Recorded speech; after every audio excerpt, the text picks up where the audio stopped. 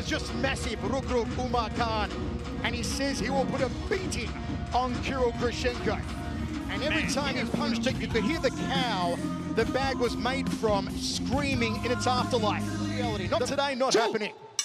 Reug Reug and Kirill Grishenko. Oumar Kane Look at the way, look at the way Grishenko took control of that center circle. trying to turn Reug Reug up against the fence. It's a jostle of power at the moment. Ah, Stop Oumar Kane from dropping down and attacking those legs. In reality this Saturday night. Catch the replay of this event. Join us in the venues app. You know, this is what I've been waiting to see for Reug Reug, as we've seen him in one championship now, being inside the circle with somebody who can actually match him strength for strength as it applies to wrestling. Because you immediately see him drop down, try to attack those legs, but he's not even swimming in. You see Trying to lead Reug Reug into that right hand. Part of the quads of Reug Reug. Then goes upstairs for the headache maker. Nicely done from Grishenko. Gut munching knee.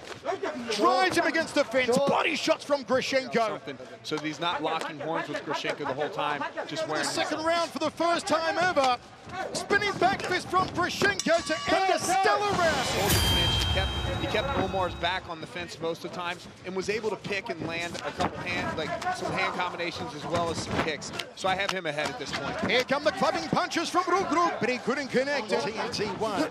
Spinning heel kick, how do you do? From Grishenko.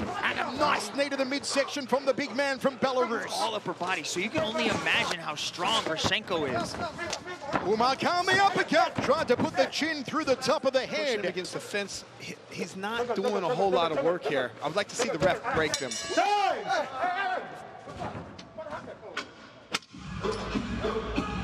Just a flash of a right hand on the bell, and Oumar Kane is down. Well, Oumar Kane, was that knocked down before the bell or after it? This is interesting. See if we can get a replay and maybe hear the, the sound of the bell on the replay. I think that's what happened. I, I think the referee Olivier Coste says So this is the end of the round.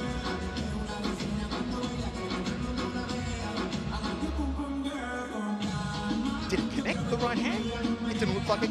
Did it, did it look like Omar, uh, Khan was pull- putting it in his throat? I don't even think it hit his throat unless something before the right hand hit him in the throat, but I don't know what.